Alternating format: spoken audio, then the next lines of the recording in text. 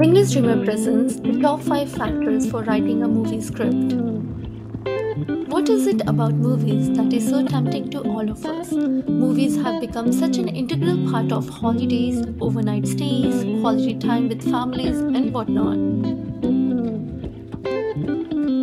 It engages all our attention, and for a moment, we feel like we are in a Willy Wonka's chocolate factory. Have you ever wondered how these amazing movies are made? What goes into the writing process. We have brought to you some factors that can help you understand it and aid you when you give it a go yourself. So, when you sit at your desk with a blank sheet of paper staring at you, waiting to witness a future blockbuster, does your mind go blank? And suddenly you are spiraling down thinking, what will be the heading? What will the jokes be? Will it start in a cafe? Wait, Will there be a hero like Batman or just a person like me? Oh god, this is full blown mess. No, not for today. I will write a blockbuster some other day. Avatar 3 can wait. It's exhausting, I know, but don't worry. In this video, we give you a guide on how to get around a script. Number 1 Concept. First of all, you need a concept. A concept is nothing but a central that drives the plot and engages the audience in writing a movie manuscript.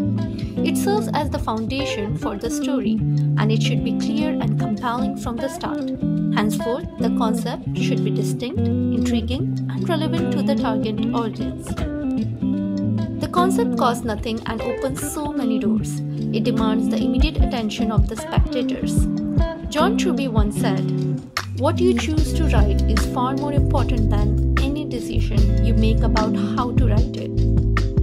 The concept is the playing field where you will explore its philosophical conflict. But wait, what is philosophical conflict, you ask? It is where you deal with the abstract human emotions seen in everyday life and thought about before every decision. Questions from democracy versus people making bad choices, medicines to help versus side effects. Followed by what if, of course. Any disagreement or belief about basic philosophical question is referred to as philosophical conflict. When individuals or groups hold opposing viewpoints on issues such as ethics, morality, the nature of reality, free will, and the meaning of life, this type of conflict frequently arises. Philosophical disagreements can be intellectual or emotional, and they can occur in personal or professional settings.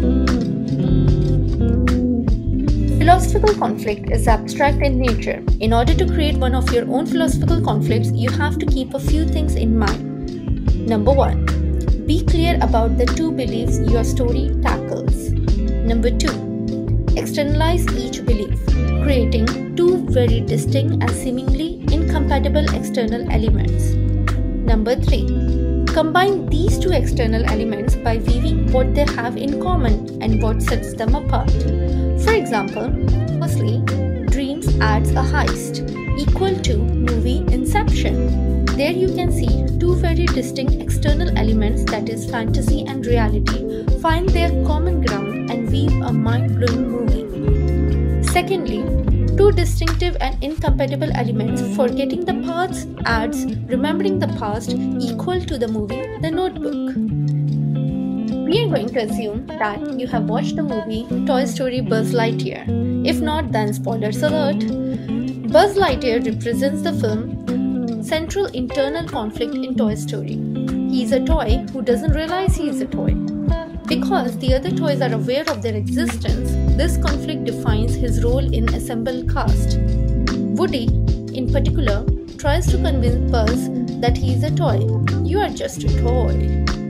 While this may appear to be a frivolous internal conflict, it represents something more meaningful and relatable. It's the clash between who you think you are and who you actually are. Buzz eventually accepts himself and is happier as a result. He finds his place among the other toys as opposed to the more isolated figure he is at the beginning of the movie when he believes he is a real spaceman. You can also watch some other movies such as Fight Club, where the protagonist faces an internal conflict between living a comfortable but boring life or one with more thrills. You can also watch all time favorite the movie Up, where Carl's inner conflict is the cynical old man he has become versus the adventurous spirit he once was and is deep down. Lastly, The Sixth Sense as a reference to understand the concept of philosophical conflict better. You don't have to invent the conflict, just observe the world around you and identify potential pre existing ideas. Remember that creation does not come from thin air, but is a conscious act where pre existing ideas are selected and combined or shuffled in a unique way. Moving on to the next factor that must be taken into consideration while writing a movie script is number 2 character growth. Let me answer today the million dollar question how to grow your character in a movie script. Point 1 Give your character a backstory. Develop a detailed history for your character that explains their past experiences and how they become who they are today. Point 2 Identify their flaws. No one is perfect, and your character should have flaws and weaknesses that create challenges for them and make them relatable to the audience. Great meaning, fellas. After all, once Robert McKee once said that meaning produces emotion. Point 3 Create obstacles for your character. Your character should face challenges and obstacles that force them to confront their flaws and grow as a person. Through the story, your character should learn from their mistakes, overcome obstacles, and develop as a person. They should be transformed by the end of the movie. Moving on to our next factor. Number 3 Internal and External Conflicts. What is internal conflict?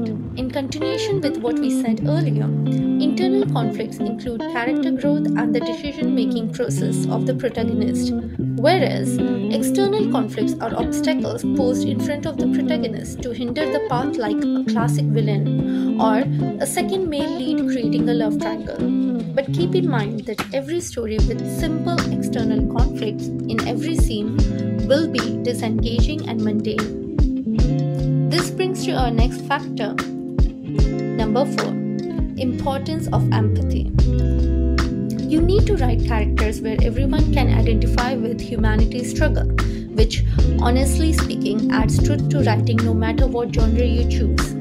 You need to write about the characters' different personalities so that people, despite their culture and geographical differences, can relate to them. There are obstacles in each and everyone's life in different forms and shapes, but those can be categorized into culture fencing, family issues, misunderstandings, judgments, etc., and then portrayed in the movie. Think about every character and write something that feels true to you. Only then you will find your creative outlet in the script. You can write what is appealing to the spectators when you write what you truly feel, see, and know. Faking knowledge or searching on Google too much for creativity won't get you far. Now we are going to discuss the magic formula for writing a creative manuscript. Be brave, honest, and uncompromising the three pillars that will help you to construct the best foundation for your writing a movie. Observing in a metro, a class, a shop, a Burger King outlet, in your neighbors. No, don't eavesdrop, but just see and hear everything around you. Observe the people around you who are talking to each other or are on a phone call. Hearing snippets of their conversation will get your imagination running or get you some witty dialogues for your characters. Well, maybe you can probably eavesdrop a little bit. Be honest. Write about what you know and what you think. Make ordinary extraordinary. If you're focusing on conversations and characters' relationships, include as many discussions as you can. Suppose there is an idea and character A comments on it sarcastically and earns a bit of laugh from 40% of the audience. Then character B should pose a different perspective on the same idea or comment on something too risky to be funny. This will not only be a good scene where characters get close to each other, but it will also offer the majority of the audience a change in perspective that will surprise them and they will love it. Don't shy away. If you fear you will get some stares from people when you write down your opinions through your characters, you are on the right track.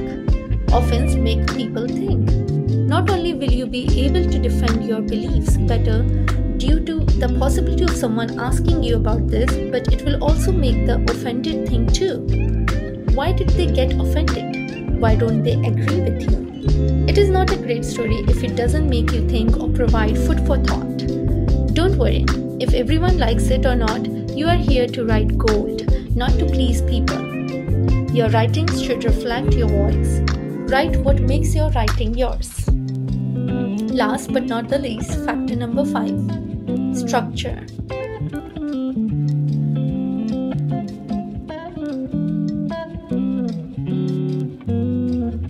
Don't worry about the structure too much. It can be chaotic and unsynchronized as long as the purpose of the story and the road leading there remains on track. Always do whatever you can to protect the idea because the purpose of the story should bloom on its own in the final scenario.